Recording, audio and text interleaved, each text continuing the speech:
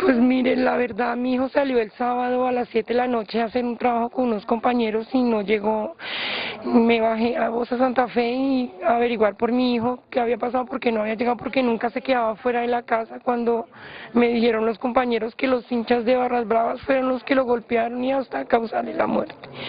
Le metieron una puñalada, uno de ellos sacó un arma blanca y lo apuñaleó y, y acabó con la vida de mi hijo, de verdad. ¿Tu hijo qué edad, qué edad tenía tu hijo? ¿Qué años tenía? Oscar Emilio Rodríguez Cristancho, y por favor, de verdad. ¿En qué sector fue asesinado exactamente? Fue en Voz Atalayas. Y por favor, los padres que tengan de verdad sus hijos, cuídenlos.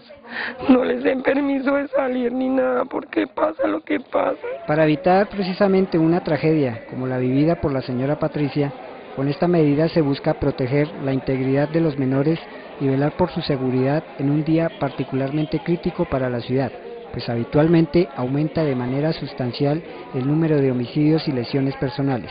La Administración Distrital y la Policía Metropolitana de Bogotá diseñaron un operativo especial en el cual se ejercerá control sobre toda la ciudad haciendo énfasis en la protección de los menores. El 60% de las víctimas de homicidios siguen siendo jóvenes entre los 16 y los 30 años. 11 de la noche comienza a regir el decreto 431, eh, prohibición para los menores de edad. Nos encontramos en la localidad Octava con el alcalde local Luis Fernando Escobar. Alcalde Escobar, ¿cómo ve la medida aquí en la localidad Octava? Bueno, ya tuvimos una preliminar que fue ayer, en la noche del viernes, madrugada del sábado. Se logró la retención de 32 jóvenes que se encontraban a esas altas horas de la noche sin ningún tipo de control y fuera de sus hogares. Hoy hemos venido recorriendo desde hace ya algunas horas las zonas de rumba y la verdad es que no hemos visto en las calles eh, niños o menores de edad, se ven personas de mayor edad. Sin embargo, ya con la policía vamos a iniciar en este instante la verificación de la edad de los que veamos más jóvenes para establecer si están o no están menores de edad a esta altura contraviniendo la restricción de la circulación establecida por el gobierno distrital. Muy bueno porque eh, los niños en la calle se están volviendo, están aprendiendo muchas mañas y muchas, se están volviendo delincuentes.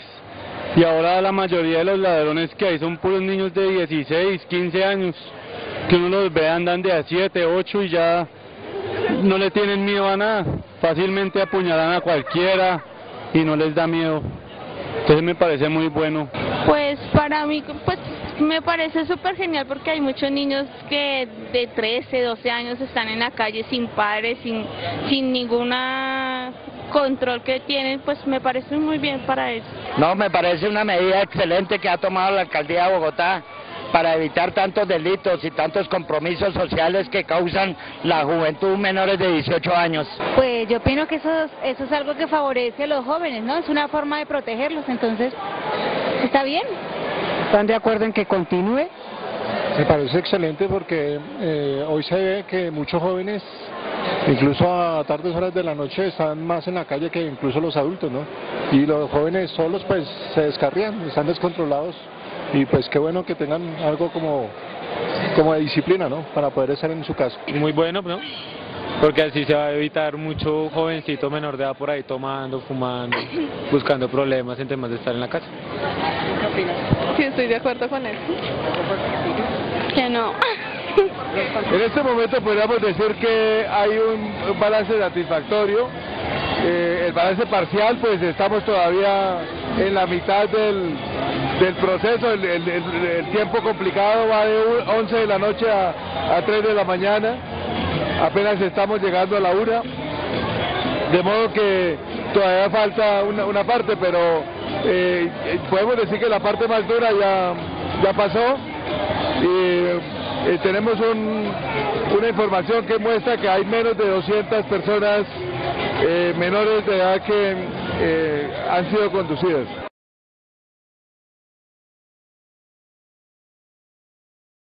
Bueno, en este momento hay que decir que el, escenario general es de tranquilidad, la, fiesta del amor y la amistad se, se está desarrollando de una manera tranquila, la gente se está divirtiendo y podemos decir que hasta este momento los reportes que hay sobre violencia son realmente mínimos. Eh, por supuesto no existen los consolidados, pero solamente eh, podemos anticipar que, que eh, parece que la medida ha rendido el, efecto que se buscaba. Estamos en este centro de, de perteneciente a la comisaría de familia y aquí pues tenemos un grupo de muchachos que, que fueron conducidos ahora me están informando que tienen un problema complicado es por la falta de teléfono pues eh, yo les presté el mío para que llamen pero pero eso es una cosa que tenemos que resolver. Eh, eh, se trata de que los padres vengan a buscarlos y, y, no que permanezcan aquí. Estamos ya cerca de los 80 jóvenes que han sido conducidos a este centro de recepción que se ha adecuado para tenerlos de manera cómoda. Eh, un número bajo de niñas, son solamente seis niñas, el resto son varones, y creo que todo ha transcurrido de manera adecuada. Por supuesto hay que tener cuidado con los jóvenes para que no se presenten riñas, altercados, diferencias y para que entiendan el proceso pedagógico que hay detrás de esta medida liderada por la Administración Distrital. Finalmente, las autoridades registraron la detención de 285 menores de edad durante este toque de queda por violar la medida de toque decretada por la Alcaldía Mayor de Bogotá para el 14 y 15 de septiembre después de las 11 de la noche. Por ejemplo, en Suba se encontraron 60 menores de edad al interior de una chiquiteca. En Kennedy y Bosa se detuvieron a 6 menores de edad al interior de establecimientos nocturnos, los cuales fueron entregados a sus padres por la Policía de Infancia y Adolescencia en 12 centros ubicados estratégicamente en la ciudad.